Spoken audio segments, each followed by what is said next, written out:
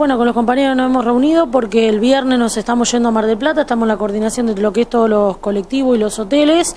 Eh, se hace un viaje que se hace cada tantos años, no es todos los años, pero bueno, eh, en este año la oportunidad es que todos los afiliados eh, puedan viajar a, Mar del Plata con su grupo familiar, aquellos que son solteros, solteros, que no con esposa o marido y los hijos.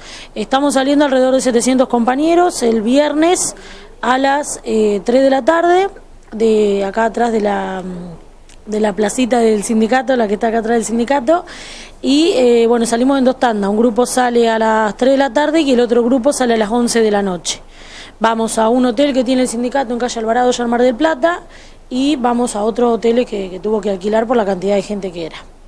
Bueno, un lindo logro que tiene que ver con la recreación, pero también tienen preparadas algunas reuniones para asesorar en cuanto a violencia de género y algunos proyectos sociales. El próximo viernes, y eso es lo que queríamos comunicar, que está abierto a toda la comunidad, eh, tenemos una charla que va a dar la Comisaría de la Mujer de Salto eh, sobre violencia familiar, ¿viste? sobre violencia de género y demás. Bueno, una linda charla eh, para aprender a aquellos que no lo sufren y para ayudar a aquellos que conocen a alguien y a aquellos que lo viven, bueno, cómo poder defenderse.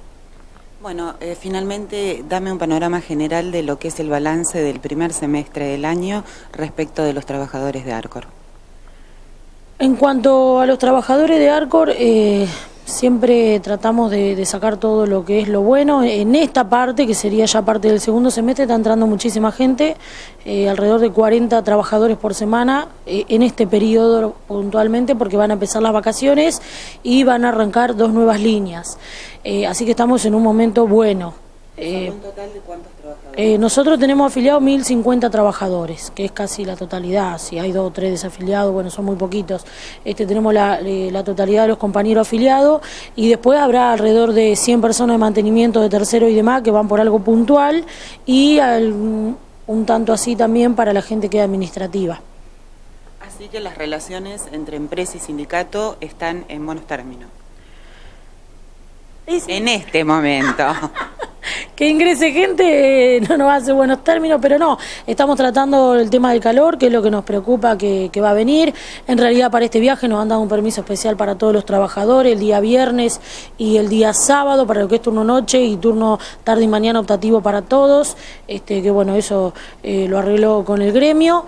Y después en términos generales, bueno, se están peleando algunas cosas, viste, temas sanciones y eso que se ve siempre.